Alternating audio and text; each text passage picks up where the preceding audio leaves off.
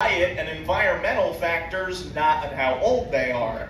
So let's say you had two baby alligators. If you feed one of those baby gators a ton of food more than the other one, it can literally grow to be twice the size of its sibling in the same amount of time.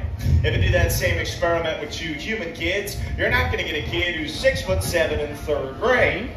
But the alligator will actually grow larger. So going to take a look at one of these guys. They could be 25, they could be 75. You'd have no knowing just by looking. And some records in captivity claim to have alligators over 100 years old. So very long-lived animals. Now in here, we mostly feed our alligators raw chicken and other kinds of meat, but in the wild, these are opportunistic hunters. They like to eat things like raccoons, turtles, fish, birds, and of course their favorite, tourists. Ah. Kenny, of course, they don't usually attack people. In fact, attacks on humans are extremely rare. All right, I know everyone thinks they're out to get you, but let's do the math here. We have over 2 million alligators in the state of Florida, and they really wanted to eat people, you'd have people dying every single day. Instead, we have more people killed annually by vending machines than by alligators. Think about that for a minute there. That means every single year more people get angry, they can't get a candy bar, they shake the machine, it falls and crushes them more often than people get attacked by one of those things. Really says a lot about both of our species right there.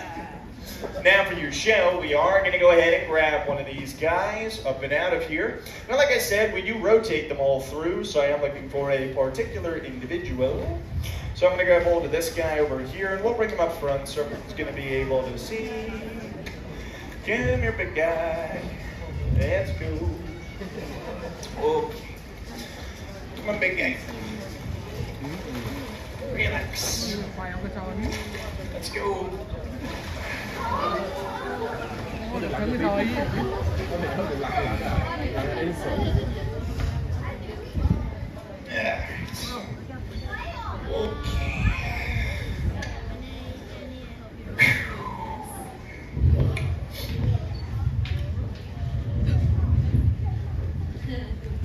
You guys having fun yet?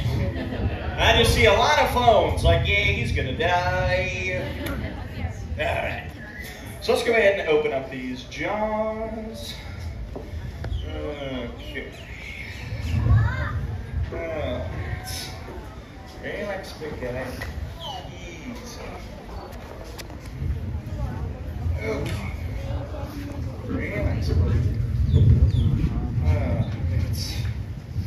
Alright, so take a look inside that alligator's mouth. You will actually see 80 teeth in there. And there are 40 teeth on the top and 40 teeth on the bottom. And they can actually break their teeth off, they grow them back, and they cycle through several thousand teeth in their lifetime. Now that does come in handy because of how hard that gator can bite down. A large alligator can close its jaws with an entire ton of force within that mouth. 2,000 pounds per square inch power. Y'all do not seem impressed with that number. Think about that. 2,000 pounds is enough power to easily snap any bone in your weak, fragile human bodies and literally flatten your skull. If you're not impressed by this, it is because y'all are on the wrong side of the glass. Now, even though they can bite down so hard, you can actually hold their jaws shut with just your bare hands, as you can see me doing here. All that power is for closing, very little for actually opening. So remember, if you're ever about to be attacked by an alligator, don't run away, just turn around, grab the jaws, and you'll do great. Definitely kidding. Run for your life there, guys. But we have all these alligators in here for a reason, though. We are actually an alligator rescue, and these are all considered to be nuisance alligators that our team rescued. Now, a nuisance alligator is one that showed up in somebody's backyard, got in their swimming pool. He ate Fluffy, something like that. Uh. Now, once an alligator does eat somebody's dog, the state is going to send out a trapper to capture and kill the alligator, unless the dog he ate was a Pomeranian, and they just let him go to continue the good work. Yeah. Now, Unfortunately, though, the state of Florida does kill several thousand of our nuisance alligators every year, and that is really sad because that's not the alligator's fault. It's usually a nuisance person who caused the problem, and by that I mean people who feed them. So once you feed him, three things happen. One, he learns to associate you with the food. Two, you don't have the food. Three, you are the food. And that's why it's against the law to feed them.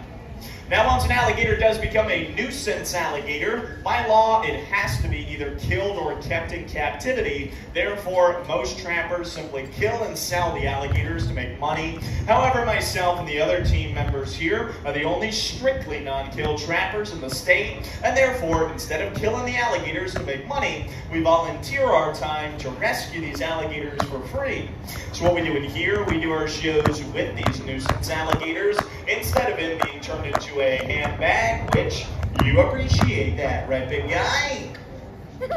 yes, he does. That's what we consider an alligator rescue, because every single alligator that you've seen here would have sadly been destroyed if they were not here with us.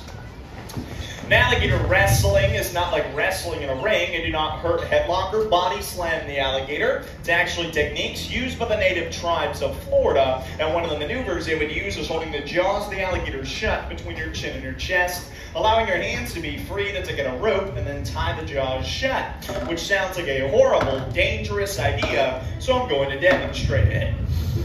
It does make a pretty cool looking photos, so I'll give you guys a thumbs up like this, or if it does go horribly wrong, get my arm ripped off and I'm bleeding everywhere, I'll give you a thumbs down, okay? Alright, don't worry in that scenario, just at your camera from photo to video. Alright. So come here, big guy. Relax, buddy. Okay.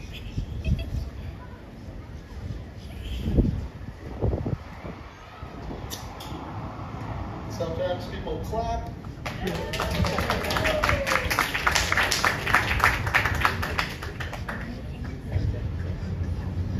And you guys, uh, clapping did not feel forced at all. Now you have one more trick to show you guys. Hang on. Okay. Relax, big guy. Easy. Okay. I do have one more trick to show you guys, but before I do it, I do want to tell you a little bit about myself too, so you don't think I'm completely insane. Uh, you see the stairs out there. I actually have a bachelor's degree in finance and international business from a college in New York. Yeah, it doesn't make a lot of sense to me either. But for my entire college career, all I really wanted to do was get out of the shark tank and into the gator pit. Hey. That phrase that I choose to live by is live your dreams and follow your passion. For my entire life, I've been passionate about reptiles and especially alligators, and it has been a dream of mine to be an alligator wrestler ever since I was a little kid. So I feel extremely fortunate to have been given this opportunity, and I encourage everybody out there to pursue your wildest dreams because you never know, they might just come true. Now that being said, the only way that I'm able to continue to do this job full time is through the generous donations of the people in my audience that you guys. Now catch with this job, it's obviously very dangerous, and due to the danger factor, I am not an employee of the park, and instead an unpaid volunteer due to liability and insurance. Liability. That way, if the alligator does rip off my hand and eat it in front of me, no one is technically responsible and I get a get well soon card. That is literally our healthcare plan. So at the end of the show, you like the show, you learn about alligators, and like the fact that we're a rescue that saves these guys. I do greatly appreciate anything that goes into my little tip jar down there. That is the only way that I get paid here, and it's also what enables our alligator rescue to function and what allows us to continue to go out and rescue more of these beautiful and magnificent animals.